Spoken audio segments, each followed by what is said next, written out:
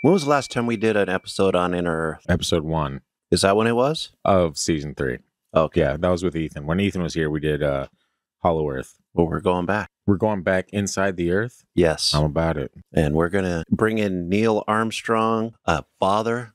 Well, we're not talking about Neil. Neil's death, also a father. Yeah. correct? Yeah. No, okay. we're going to talk about Father Carlos Crespi and the artifacts he was given by the indigenous population of Ecuador that may have come from Inner Earth. And that does sound pretty fascinating. So if there's one thing I do know, It will be dope. Oh my gosh. I don't ever remember saying that.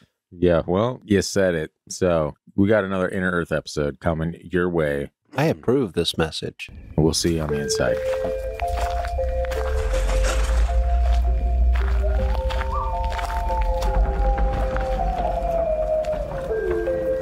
You are now entering the realm of the freaky deaky, an unsuspecting stop at the crossroads of fantasy and reality, where the frayed edges of make believe seep into this cookie cutter white picket world you've been led to believe is far from extraordinary.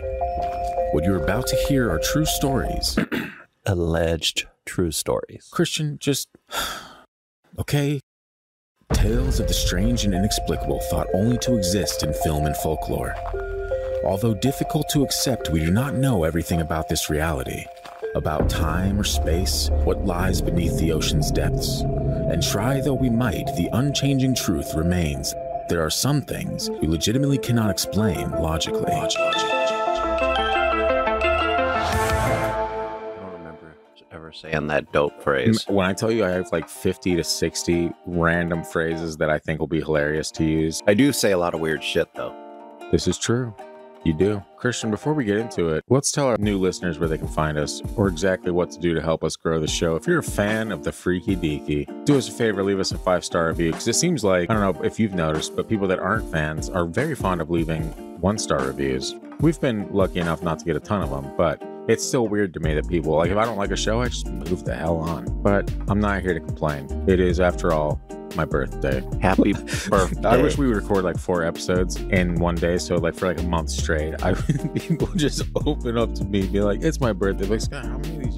got? dude?" Anyway, You have now journeyed into the past. yeah. Welcome we- to Scott's birthday for the second week in a row. That's right. If you guys are wondering what I did, it was record. So, ta-da. Rate us five stars on Spotify and Apple Podcasts if you would, or wherever you're listening. It really does help us grow the show. Another way you can help us grow the show is buy some of that sweet, sweet merch. We got some of the weirdest and most awesome paranormal merch items in our store at thefreakydeaky.com. If you have a story of your own that you want to share with the show, send it into the gang at thefreakydeaky.com. We love hearing from you guys. Otherwise, just comment on the socials. You know what they are at Freaky Deaky Pod on Instagram, Facebook, and YouTube, and at TFD Paranormal on TikTok.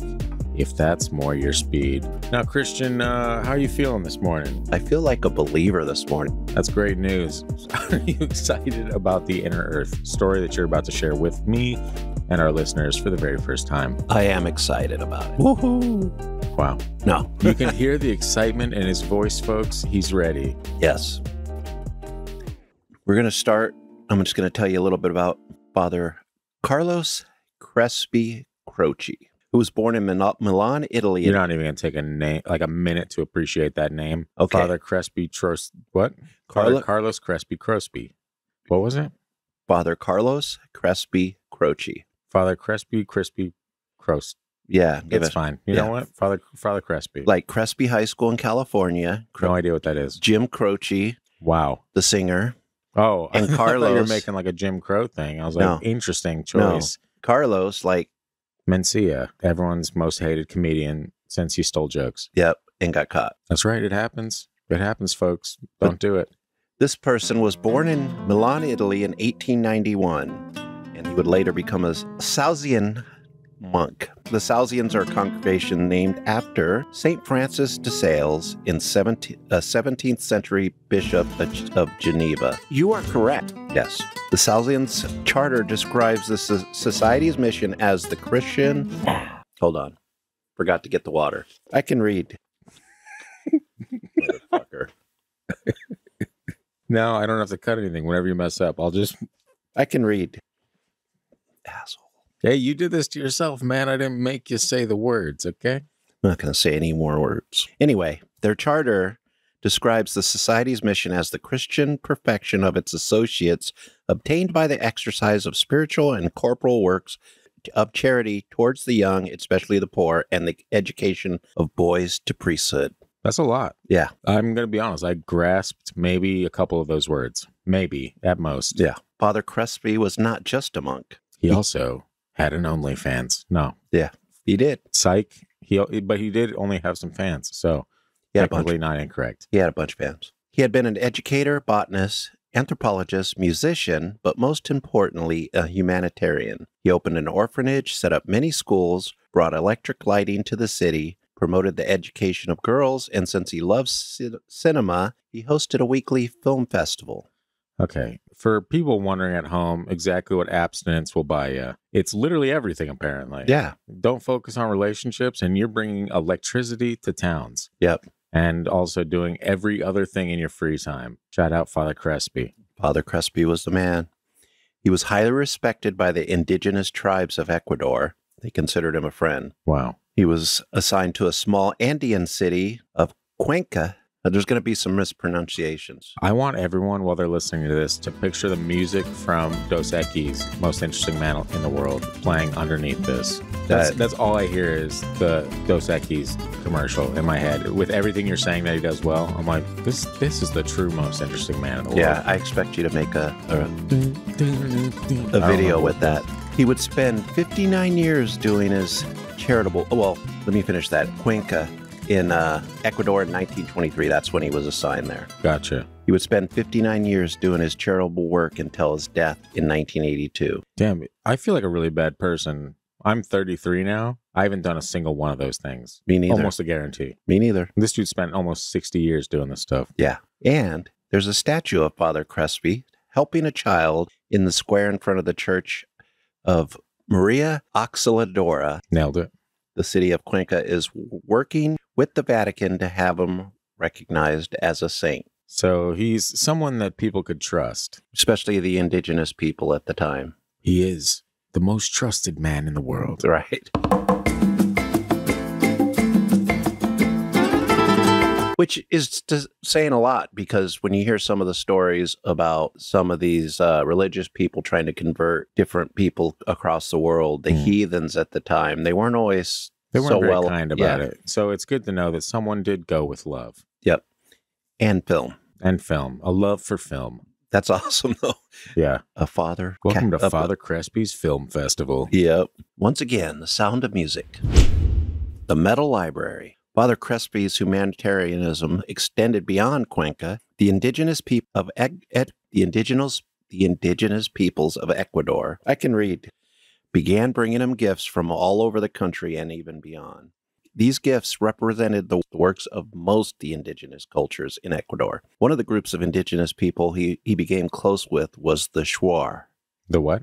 Shuar. Schwar? Yeah. This group, this was a group from deep within the jungles of Ecuador. He was dedicated to learning the various cultures of the area, and he would do this with this group by living in what we would call poverty, sleeping on the floors of their huts, covered only by a blanket and spiders and snakes, obviously, because he's in the jungle. Yeah. I don't know. You're not going to catch me anywhere near a jungle floor. Yeah, I've been there. I wouldn't sleep on the floor. The size the size of those bugs out there, hell no. Yeah. He was also the first to film this culture, the Shuar, in 1927. Dang. Yeah, that's crazy. It's crazy to think about a film festival in 1927. I think that came a little bit later, but Okay, that makes more sense. Yeah. But he was still, I mean, brought electricity to Cuenca. Yeah. God, you'd hear like every single sound. There'd be no sound in those films. no, no.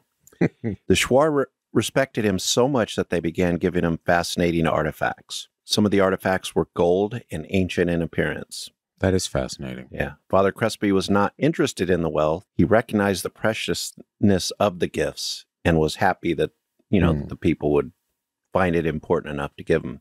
And he would try to give him something in exchange so that, like, they weren't giving it to him for free.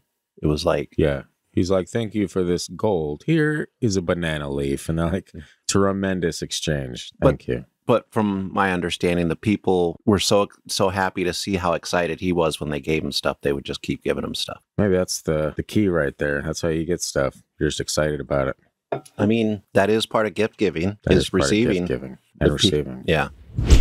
So these golden artifacts, golden ar- artifacts that had odd markings that seemed ancient, which also appealed to its anthropological interest, and of course made him very happy. I imagine I'd probably be pretty happy if I got gold. Yep, exactly. Especially, this is great. Thanks. yeah, I'm just just a a, a a priest that's Out here priesting. yeah doing the poverty thing, passed into the spiritual realm for a sec. That happens when you hit your head really hard. They continue to bring more gifts, including jewelry, pottery, statues of animals and gods, and oversized rectangular metal plates.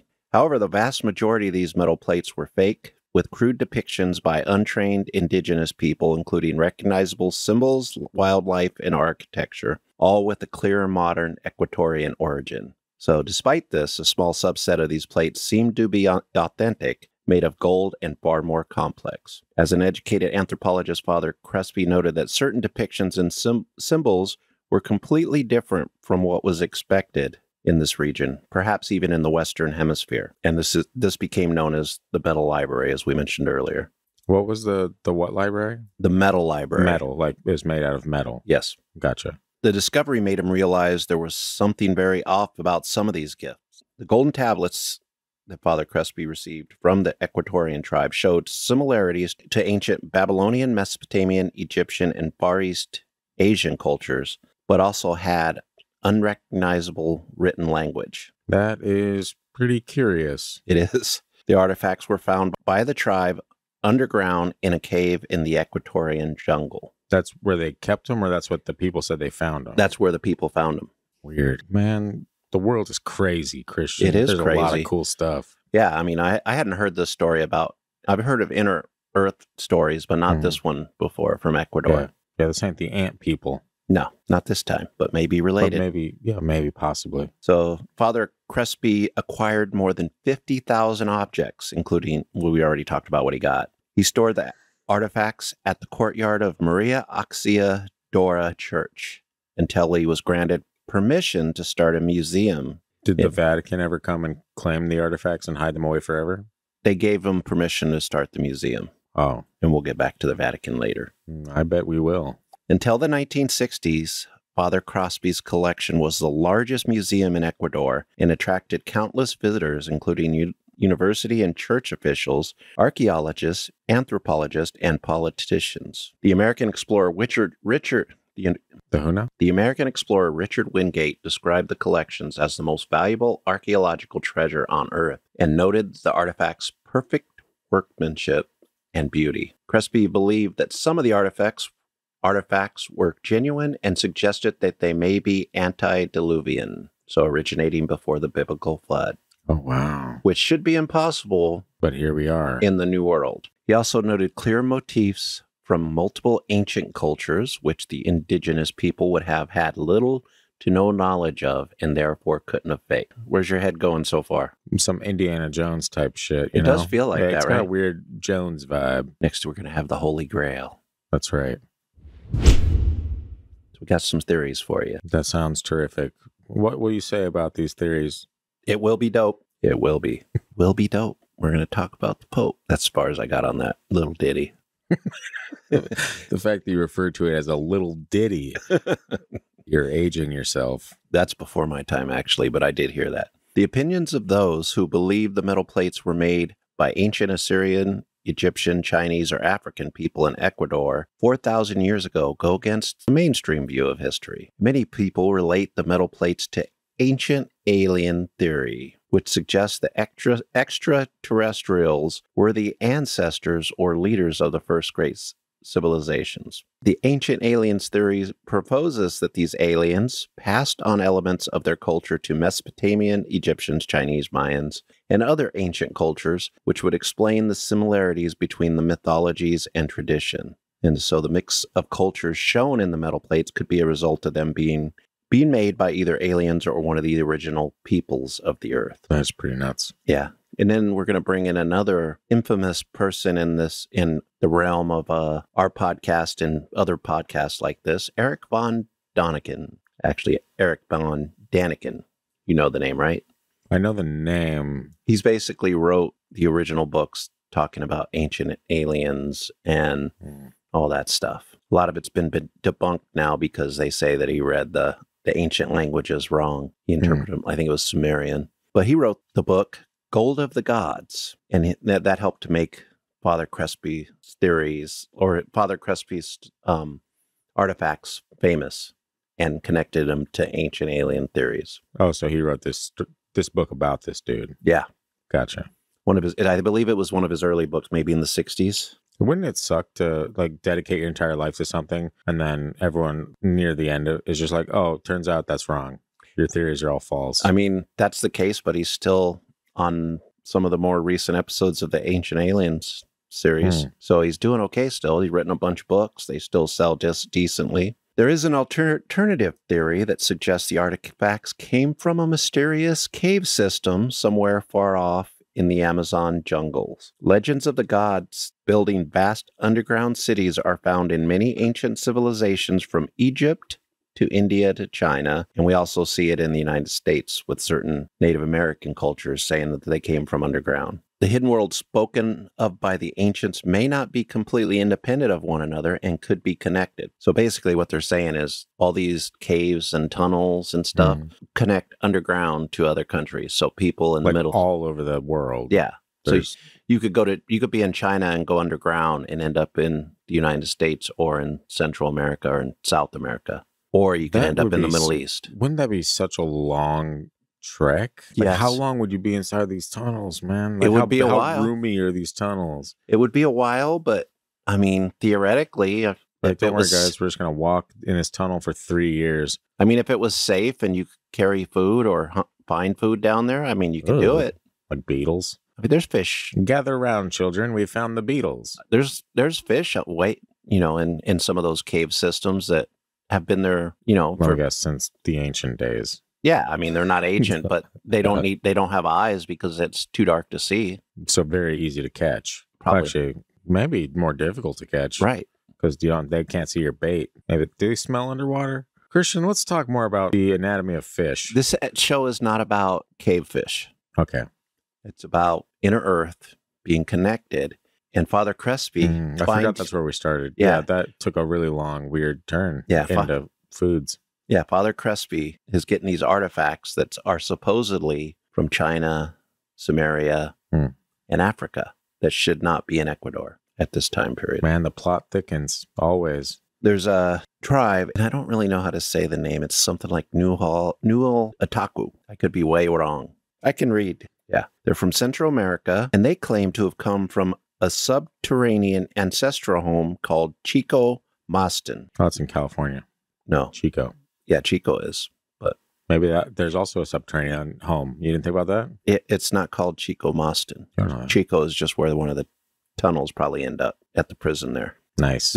So it has seven caves. And so these seven tribes, Try that without the hardest S I've ever heard in my life. Yeah. Because something I I put it on my note thing and my finger touches it and everything pops. I hate up. when that happens. Yeah. It's the worst. These seven tribes later formed the Aztec Empire. North American tribes such as the Hopi, Zuni, Pawnee, and Creek also it might I don't know if that's Creek, but it could be Cree. Hmm. Also share a similar story of emerging from the earth. The Inca believed their forefathers came from caves east of Cusco in Peru. Indigenous Brazilians claim their ancestors exited from a massive underground world while some stayed below the earth. The theory of a global underground network raises the possibility that the ancient peoples also left cultural relics in underground locations. And this may be the key to unlocking the mystery of the metal lib- library found in Ecuador. What do you think about that like theory of the cave systems? Now, would that or would that not disprove everyone that thinks the world was once just one mass? Would it prove or disprove it? One one what? Like like Pangea and stuff like that. Like if there's cave system, would that have happened like so much before the cave systems were made that I think the doesn't cave or- systems would probably be more recent. but would they? Because I mean, these are ancient people as well. So who, how do we know they're not like the first humans or As far like as? Pangea goes, I don't think there were humans then. this bitch don't know about Pangea. No, that's Lil Dicky right there. Who's oh that one? Isn't he the rapper? Yeah, that that song is hilarious though. Mm. It's his brain. He's rapping with his brain. His brain is rapping. And he talks about Pangea. It's good stuff. Deep cuts. deep cuts. I would get the Pangea reference. you would, but the girl that he was seeing would not. It's because she can't read. Unlike yourself. I can read. Yeah. Yeah. We know, Christian. We're very proud. This is when things go a little dark. That was a little demonic. Hey, it's Catholic Church, right? Am I right? Oh my gosh. On July 19th, 1962, a fire broke out in Father Crespi's museum at about 1 a.m. Father Crespi managed to save many artifacts, but many more were destroyed. The fire also destroyed Cuenca's primary school, secondary school, and the cinema theater. The cause of the fire was inconclusive, but witnesses reported seeing two people with fuel canteens coming out of a car. Weird. It is weird. Why? I mean, you can't let people know about inner earth. Man, this drives me. This reminds me of an episode I'm putting together on Men in Black and like UFO sightings and shit like that. It just drives me insane, man. It drives me nuts trying to figure that out. Just Yeah. thinking about it, that like there's there is, even the possibility of people in the world that are trying to suppress this type of knowledge. There's so many questions. What's the reason for it? You mad? It's crazy, especially now because with all the, the UFO stuff coming out now. It's like, how is the government ever just going to come out and say what they know without saying, we've been lying to you? Yeah, We- there's no way. It's We've been like calling you people crazy Yeah. to just so that you would, wouldn't know what's going on Yeah. so we could distract you from our secret military stuff. You're so we almost too far gone at this point. Yeah, like you like- can't turn back and back. Just kidding. It's all real. and to be honest, at this point, and this goes for all the governments of the world, people don't trust you, so you might as well just tell the truth. Yeah. Or do better and say that all the stuff's real and people don't trust you, so they wouldn't believe you. And then you solved your own problem. You know the secret in this case? Hmm. I messed up. Yeah. That's that's how you fix things. It's not perfect, But, but neither are we. but anyway, that's a totally different episode. Now let me refine my place because obviously I touched this stupid app, Yeah. It seems like Christian. What happened over there? passed into the spiritual realm for a second, and it was glorious. We're glad you enjoyed your stay. I saw Baba Yaga. So Father Crespi managed to save some of the some of the artifacts, Hmm. but many were destroyed. I already told you all that crap. Yeah. Get all that crap out of here. Equatorian. Ah, like, did that is Do I that a mis? push it, Christian? It says new new phytologist. That doesn't sound like a thing. I'm just going to say Joe Rogan? I don't. Uh, I think it just put the He wrong seems word like he'd be a, a new phytologist. Yeah. Oh, you I get it now. I Hmm. get it. So Ecuadorian Jamie Rodriguez invested the case and concluded that unknown people robbed golden plates and set fire to the museum. Father Crespi relocated the surviving artifacts to his personal living quarters to protect them, and he guarded them for the next 15 years, and citizens provided support for security. No academic institution took the artifacts seriously, and no study was conducted. Father Crespi passed away on April 30th, 1982, at the age of 91. Many online articles suggest that the artifacts were stolen or disappeared after his death, but that's not the end of the story. Can you can you read that last bit but louder? It was very sensual. Not saying that that's a bad. It's a. It was a nice vibe, but it didn't come across the microphone. Okay. Okay. you feel good about that because I feel like. That was a little demonic. Oh God. Many articles suggest that the artifacts were stolen or disappeared after his death, which is what anybody would That's say happens. Yeah. if they want to get, especially in a click, you know, bait age. They're Do you think like you know how wealthy people have like crazy auctions? Do you think any of these artifacts are like that? Like you know, like some weird like Ocean's Eleven type shit where you know that that's the like truth. some jewelry heist, some art heist where it's like this rich person, quadrillionaire or whatever, is like, I want this piece of gold that was found in inner earth. I used to think that like that's so dumb. God, sorry, man. Touch the thing. I was trying to adjust it. Anyway, um, I used to think that was crazy that people would do that. But if I was really rich, It would be like having a, like an interesting, like you want interesting stuff around you. you yeah, know, I'm the type that doesn't need something to go sh- show my friends. Look what I Yeah. got. I'd be like, Ooh. I'd walk into my room and see that gold plate with Sumerian writing from Ecuador. and the and minor know- deity that is safeguarding it. Yeah, Kukulkan Khan or whatever his name is. The Ku Klux Klan? No, Christian. No, I Ku don't, I don't think that's them. Have you not watched Black Panther, man? Yeah, Chaka Khan. The second one? Sure. You haven't watched it yet. Mm, Yeah.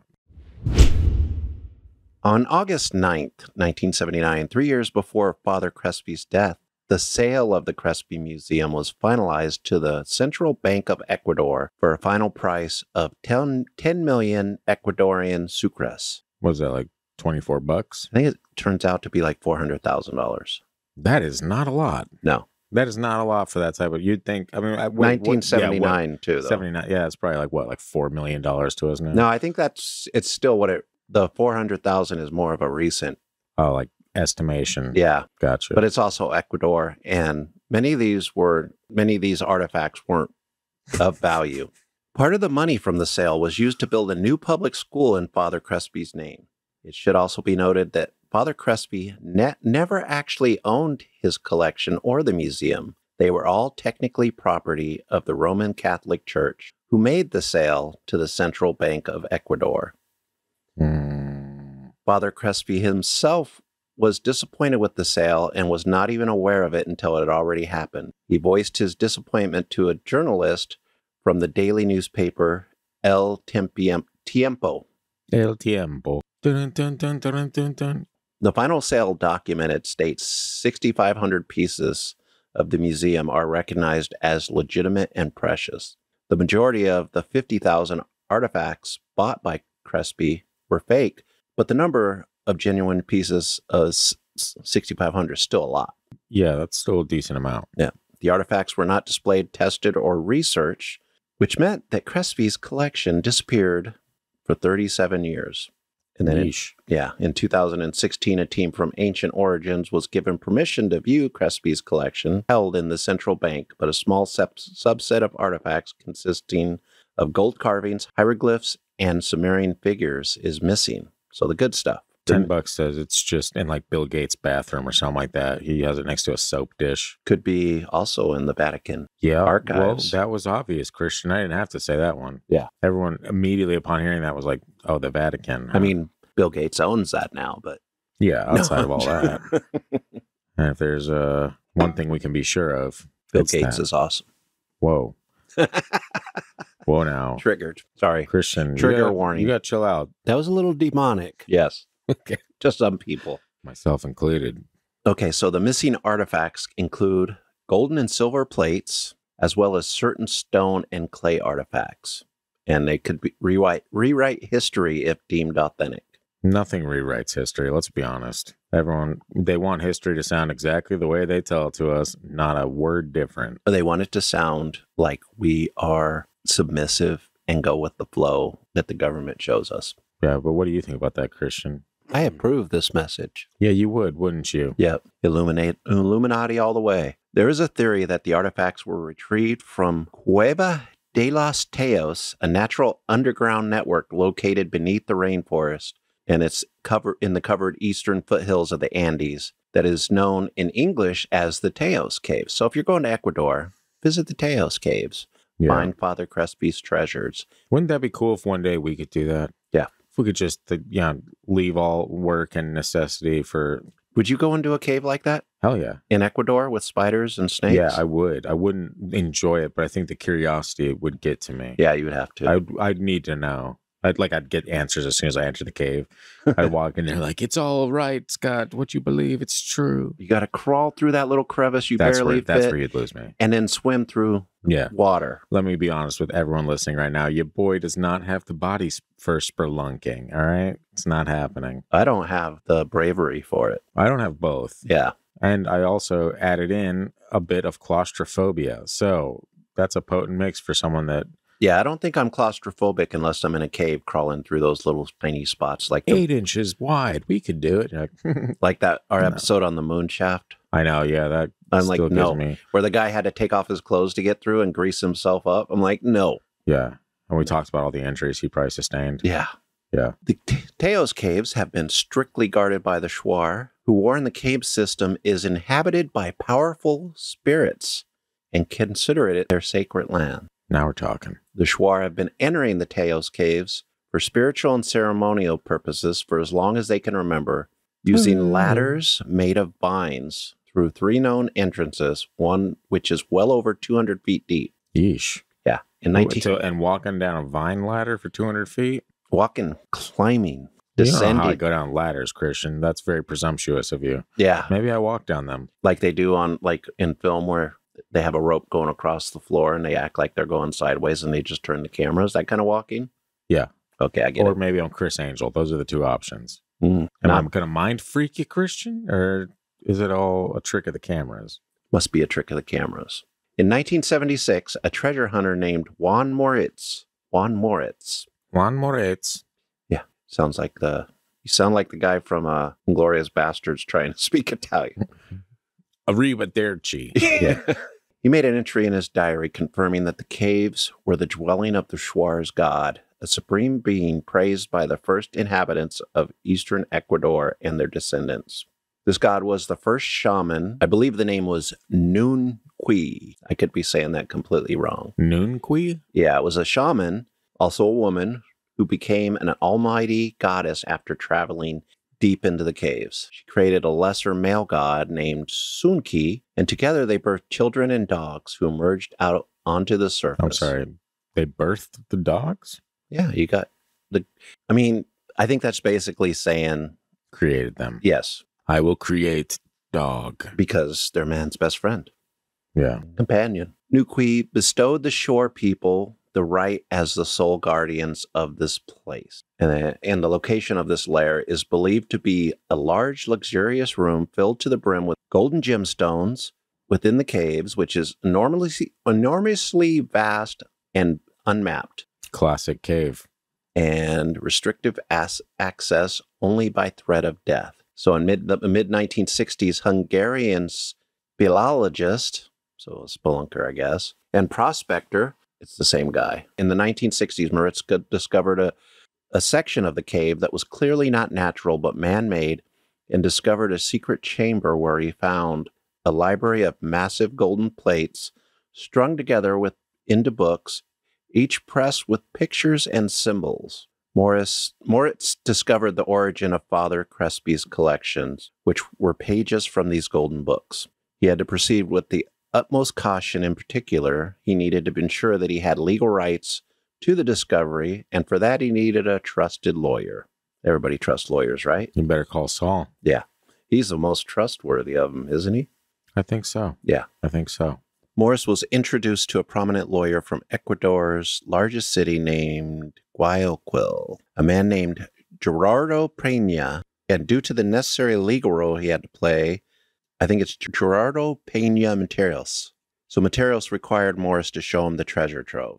In June 1969, he tr- wrote a detailed. They wrote a detailed des- description of the findings and submitted it to the Ecuadorian government, expecting to be met with a team or resources for an expedition. Instead, they just stole everything and drove away. They never heard back. Hmm. Most of the mar- artifacts were massive, particularly the metal books. So they they needed uh, equipment and a larger team to get them out. So for the next several years, Moritz kept the discovery a secret. Kind of makes me feel like it's similar to that Grand Canyon story. Mm. Yeah, a little bit. Yeah. A little bit for sure. I get the feeling Moritz doesn't like Erich von Daniken because he accused him of lying about their supposed expedition together and stated that he had never seen the arti- artifacts himself. Interesting. Der Spiegel, which is a German magazine, revealed that the entire story had come from a single conversation between Moritz and Daniken, and that Daniken had used archival photos of Moritz. So, after selling more than 5 million copies of Gold of the Gods had sold, he'd admit, Daniken admitted in an interview that he had embellished the story and used theatrical effects in his writing. Despite the controver- controversy surrounding their, suppo- their supposed expedition, Daniken's book had become incredibly popular and brought Father Crespi's Tayos caves to fame. So now we have another guy entering the story, a guy named Stanley Hall. Welcome to the story, Stanley Hall. Yes, he's a wealthy and enthusiastic Scottish civil engineer. He had been obsessed with the inks in the implications of Fowler Crispies. That's how it spelled it. Fowler Crispies? Yeah, it's You were thinking about fried chicken Yeah, at a time like this, Christian? It's Father Crespi. Father Crespi's collection for years, but it was Daniken's book that inspired him to make finding the metal library his life mission. Mission. In 1973, Hall led a success, successful archaeological survey of the Calendar Stone circles in Scotland. In 1976, Hall organized an international expedition to Ecuador with 120 members, including British and Ecuadorian government and military officials, British special forces, leading scientist and spell- speleologists, I don't think you should be able to call yourself a speleologist. That's just that sounds way too sophisticated for what you're actually doing. You're Yes. taking your shirt off and you're squeezing an eight inch sections of rock. That's sorry, you don't get a gist. Some, right? Sometimes you have to tie knots. Great. So do sailors, all right. Yeah. They also had an entire film crew and Neil Armstrong, the first man on the moon, who served as the expedition's honorary president. Kind of fascinating. We're going to bring some NASA into this, right? Interesting. Armstrong joined the expedition because of his interest in outer space and because Hall had links to the Armstrong clan and had mentioned the expedition in a, in a letter. Moritz was originally proposed to lead the expedition, but Hall, being a civil, an experienced civil engineer and project manager, refused as he was more capable of leading a successful expedition of this magnitude. Moritz felt that he was the only one he was certain that he was the only one capable of reaching the treasure and believed it would be impossible without him. Hmm. We can see some drama unfolding. In 1976, the Ecuadorian and British governments signed an agreement to search for tr- the treasure in the Tayos Caves. Neil Armstrong was scheduled to uh, again attend the expedition, but the expedition crew was warned by locals not to venture into the caves because they believed the Shuar tri- tribe had been protecting a hidden subterranean civilization for hundreds of years. Classic. The Shuar tribe had gifted Father Crespi because of the love and respect they had for him, but the tribe saw Stanley Hall and his expedition team as outsiders and trespassers. The Shuar tribe became friendlier after meeting Neil Armstrong. Interesting, huh? Even they knew that he was in, he walked on the moon. The expedition lasted 35 days, during which the team matched, mapped nearly 10 miles of cave system, discovered over 300 new animal and insect species, and found man made structures, tunnels, rooms, and ancient relics of great archaeological value. The expedition team found no treasure that resembled Father Crespi's collection, but they did find art- artifacts dating back to 1500 BC, confirming that the caves had been frequented since ancient times. That's crazy, 1500 BC, That's before Christ. Or That's a long time. before the Common Era. Yeah, that's what it is. that must be it, Christian. Oh, Christian. When you say it like that, oh, Christian, he's arguing about. Sorry, Make me push one of these buttons. no, Christian. no, do you, it. You, you, you're do- Do it. No more pushing buttons. One of the lead researchers voiced his frustration to a local Shuar elder who revealed to him that Hall's team had investigated the wrong cave, and the real treasure was in a nearby but completely different cave system called the Cave of Higher Beings. Sorry, that's what it's called. I can read. That's not my word. The cave of higher beans. It's fine, Christian. At this point, the beans is played out. It is We get it, folks. Christian says beans. the Cave of Higher Entities. There you go. The Equatorian researcher Manuel Palacios was has criticized the concealment of reports, photographic and filmic evidence, and the denial of the real magnitude of this underground system. Ain't that some shit? Yeah. Some of the Ain't that some shit. It does. Some of the Shuar reported feeling used and scammed and believed the expedition members took something important from the Tayos caves.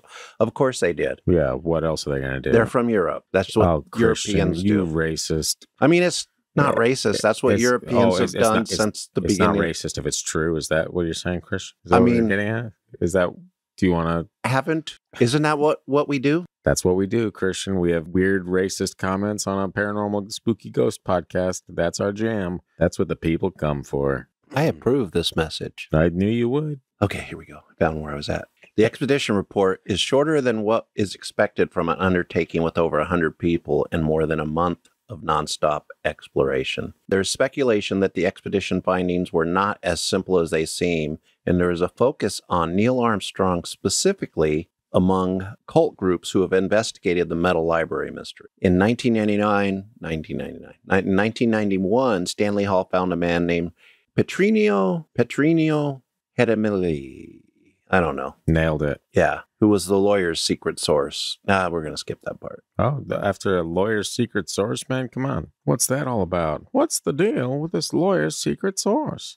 Yeah. So anyway, this this person, Petrinio, agreed to show Stanley Hall the correct entrance to the metal library, which was not part of the Tayos caves, but another nearby cave system entirely that we spoke about. Petrinio would only bring Stanley Hall there once. Trust once trust was trust and com- camaraderie, camaraderie had developed between them and when the time was right. So during long, multiple long interviews and, and exchange of letters, Petrinio revealed how he'd originally come to know the location of the metal li- library. Petrinio's uncle was a true friend of the Shuar elders and had offered them assistance. One day, the Shuar elders led him to the cave and guided him to their greatest treasure that they guarded for countless generations. They showed him their secret as a profound thank you and the greatest gesture of trust one could receive. However, this treasure did more than elicit, elicit appreciation from Petrinio. This treasure absolutely dumbfounded him. So Petrinio was going to show his favorite nephew in 1946 when he was 17. His nephew imprinted his initials into the malleable gold of seven of the metal plates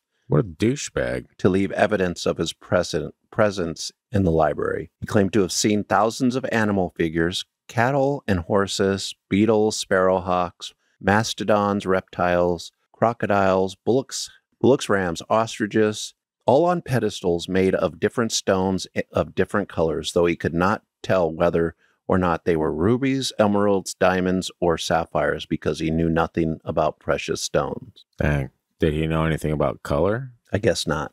Hmm. We have a description of the chamber that this this guy saw. A human skeleton with golden bones lying on a crystal bed purer than the purest water. I'm sorry, did you say golden bones? Yes. A human skeleton with golden bones. Yes. On a crystal bed. This is, are you sure this isn't like the script the next Indiana Jones movie? It might be. Figures of mythological creatures, half human and half animal, in a third chamber. The figures included bodies with heads of hawks, horses with wings, birds with human arms and legs, Mm. hyenas with faces of princesses, spiders with faces of women, and doc- donkeys with faces of men. So even then, we were jackasses. Yeah, well, and the women were spiders. Wait, no, were they? What was what was the spiders? Spiders had faces of women, but the hyenas were princesses. Yeah, what a weird look. Yeah. Not the hybrid you're looking for. These figures seem to be from the distant age of Osiris. I was actually wondering that myself. I was like, are these the distant age of Osiris? And you were like, Scott is so brilliant. That is a good one, though. that is a good one. Yeah. Yeah. The chamber contained entire libraries full of heavy, voluminous books. The books were made of opaque yellow metal and appeared to be written by a single person in near perfect script. I don't know how, I guess all the writing would look alike if it was a single person. Yeah. There were known, known symbols like crosses, circles, semicircles, squares, triangles, and stars, as well as mathematical formulas, geometrical figures. The language used in the books was unintelligible to the narrator. The bookshelves and furniture were covered in beaten gold with supports made of gold as well. That's like not to reference Eiffel 65 in two episodes in a row, but it's like the rich version of Eif- Eiffel 65. You know, gold this house with a gold little window and a gold Corvette, and everything you see is gold, like him, inside and outside. I'm not gonna. So rich, rich, Yeah. the rich are still the rich. Yeah, It's all the same. it wasn't any different in the past. Rich folks are like, yeah, put gold on my sofa. Yeah, and my toilet. Yeah, that I understand. And my toilet paper. And let's put it in our alcohol and called it golden schlag, schlager. Golden Schlager. When was the last time you had a shot of Goldschlager? Probably about 20, 15, 20 years, 10, 15, 20 years, probably like 20 years. So I think I was lived in California. Mm. There was an expedition planned. They planned to stay in Ecuador for three to four months. These were the, the guys that found all the Osiris style stuff. And they planned to involve the United Nations agency, UNESCO, to legitimize their findings. Probably make it harder to steal. Probably yes. In 1995, a short and violent war broke out between Ecuador and Peru, known as the Cenepa War. Which means the short and violent war. Does is that what it means? I don't know, man. Yeah, man. I'm very intelligent. Okay, Nobody look it up. Just believe me. trust you. Nobody check Wikipedia right now. Stop doing it. Listen to the Hmm. episode. It's not done. Hall was forced to return to Scotland due to the dangerous political situation. In 1998, Hidalgo Meal, who was part of the expedition, was shot to death outside his home in Esmeraldas in what police called a robbery gone wrong. Many believe it was a targeted assassination. That would make more sense to Yeah. me. Yes. Hall continued to promote the story of the metal library beneath Ecuador until his death in 2008. Eileen Hall Munoz, who's Stanley Hall's daughter, now carries on her father's legacy and works in Ecuador as a co director of the Tireless Project, a non-profit organization that collaborates with NGOs, environmentalists, and local organizations towards a protected future for the Ecuadorian rainforest. Eileen has been living in the area for 12 years and still believes the metal library is somewhere beneath her feet. Gerardo Mateos, Morris Stanley's Hall's former lawyer, is still a vocal, vocal propon- proponent for his deceased client's discovery, but the location of the cave entrance is lost. Doesn't that just always happen? You would think something this important, people would remember where the cave entrance is. But you know, in the if only one or two people know, just an accident could make something lost forever. I mean, that used to happen in In the ancient days? yeah, Hmm. like when you hear there's like something called Damascus steel. Yeah. They lost how to make that because whoever Didn't they recently refigure that out? or- I think they they're they either refigured it out or came pretty close. The expedition last wait where the Where are we? every can read. damn time every damn time I hate that's why I don't use this app for the our shows. Sorry, you're too good for notes. It just messes me up. In 2017, in a 2017 interview with our on your I don't know what the fuck. In a 2000 interview with with the magazine, Mateo stated that he is sure the cave of higher beings with other I valuable like- treasures. I like how like you don't see it coming, and then after you read, it, you have to pause for a second Yeah. to look at me, make sure I also heard it, Yeah, whatever, man. and then just reiterate to yourself. I can read. I'm traumatized. with Man, other has the well before you continue, has there been an episode in the recent like 25 where the words beings haven't come up? I know it seems like It's like every or every other episode, the word beings is pretty prevalent. seems like the god of these entities Mm, is torturing me and everybody else. It Any- does seem that way. Anyway, back to the 2017 interview. Yeah, I'm all I'm all for you. The cave of higher entities with other valuable treasures will be found sooner or later, but to discover the metal library depends on the mysterious inhabitants and the guardians of the underground world. Hmm. Ma- Mateos believes that without their consent, it would be impossible to find the metal library. Those who still seek the treasure today do so with the utmost respect for the natural environment and the indigenous people. Eileen's hobby of sustainable treasure seeking is accompanied by a mission of conservation of these fragile ecosystems in native culture. Interesting. What do you think? Do you think this is real? Do you think that they lied? I think just based on my man Father Crespi, Father Crispy Fowler, or whatever he said his name was, just on his reputation alone, that if he said these things happened, I would believe him. After all, he is the most interesting man in the world right. And and I, the most trustworthy. a lot, he was very well respected by a lot of indigenous people. So the question Ecuador. is, do you believe the story? I'm not sure I believe that there's cave systems connecting to other like the parts entire of the world? But maybe Yeah, but here's the thing: how would they figure that out? just by Like thi- this guy, like it was if Father Crespi had discovered the caves or just random, I think the Shuar discovered the cave. Hmm. and they said it leads everywhere in the world. Yes. Okay, so it's not And- like he actually like walked 500 miles, then walked 500 more, and discovered that the caves were indeed.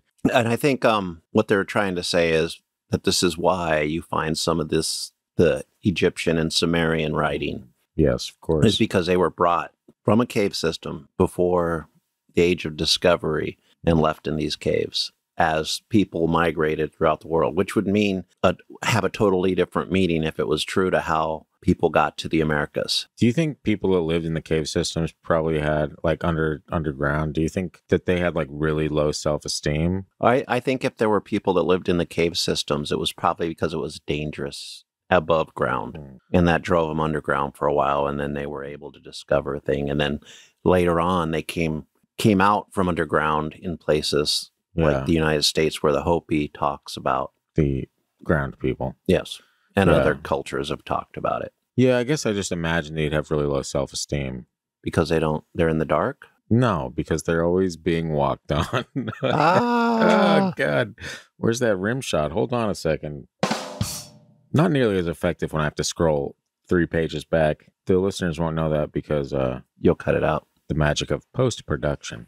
Anyway, I would say it would be, would totally change. It would totally change the world if that was if these cave systems were true. well, isn't it weird that you know, like even a lot of conspiracy theories and stuff feature some kind of cave system across the United States? So who's to say that uh, you know maybe we discovered the or the government discovered these things and was like, oh, we're going to use these and either like built them out or flushed them out or something, made them a little more sustainable for what we'd be using. Well, hopefully there were a lot of indigenous people not trusting the government, so they didn't tell them the entrance to the Mm. major caves. Yeah, but knowing the government, they probably found them. They're probably looking, but I'm not sure They're they just found drilling them. their own down there. I guess it's fine. That's why they have Elon Musk. That's why they have Elon Musk. Someone's got to drill. Drill, baby, drill. Wow. But yeah. you'll you'll find some pictures of Father Crespi online. His video of the Schwa- Shuar, and he looks like a old school Catholic priest. Big old beard, Oh, yeah. smile. Seems like a nice guy. Like I said, everybody in in this area loved him, so he must have been doing something right. Yeah, and if you're that type of person and you've lived your entire life doing like humanitarian stuff, hum- humanitarian. Sorry, I didn't mean to make that sexist. Humanitarian stuff and everything like that. Uh, your reputation is pretty much what you go by. You Right. know, like there's that's who you are. That's your word. You know, so I can't imagine that he would just randomly decide to make up all this weird shit. Yeah, that would be strange. And then with the Mm. fire, maybe taking out some of it, or Yeah, the the Which- weird stuff that you know people would want to keep that stuff secret. yeah, And to be honest, maybe even the church would want to keep that stuff secret because it would oh be really, yeah. really hard to explain and still keep the their the narrative way that they have of telling their story. That would throw that in. yeah. They'd have to rethink it and re and explain it differently. So They'd have to actually look into the good book, and wouldn't that be an issue? I mean, that's what they do now. They just kind of Hmm.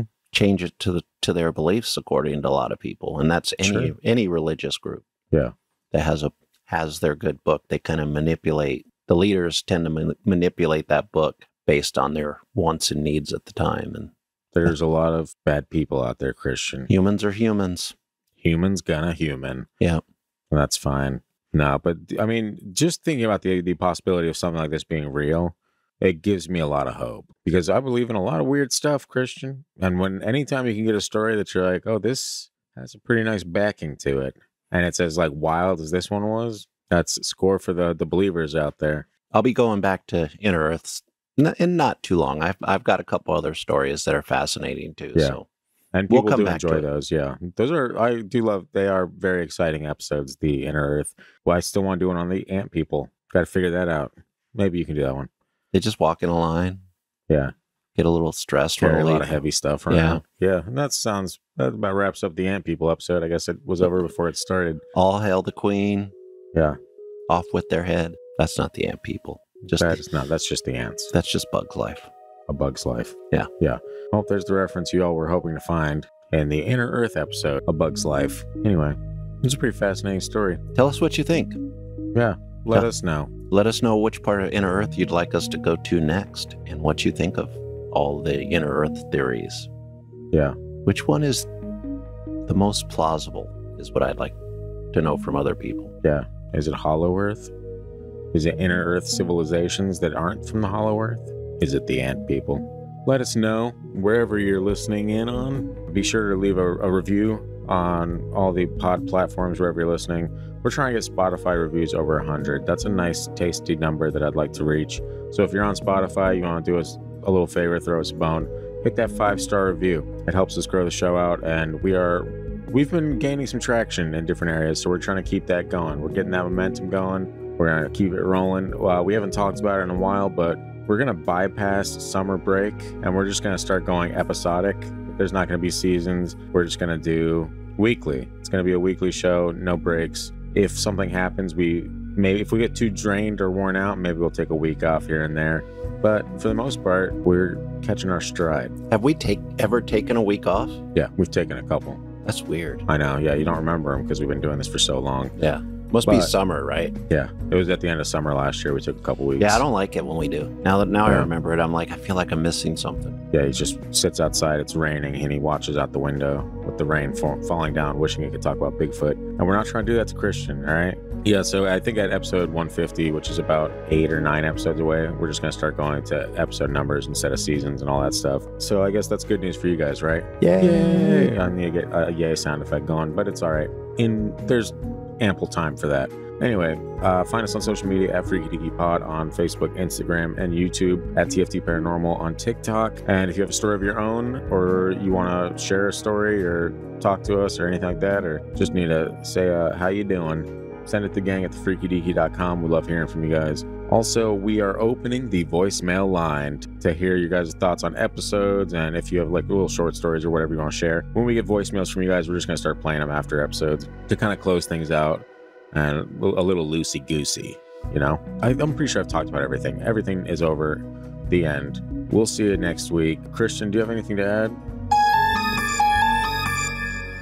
That was disappointing. That truck. Wait, no. I like that sound effect. I'm going to add something. I'm just trying to think something. Christian, do you have anything to add? Scott is so brilliant.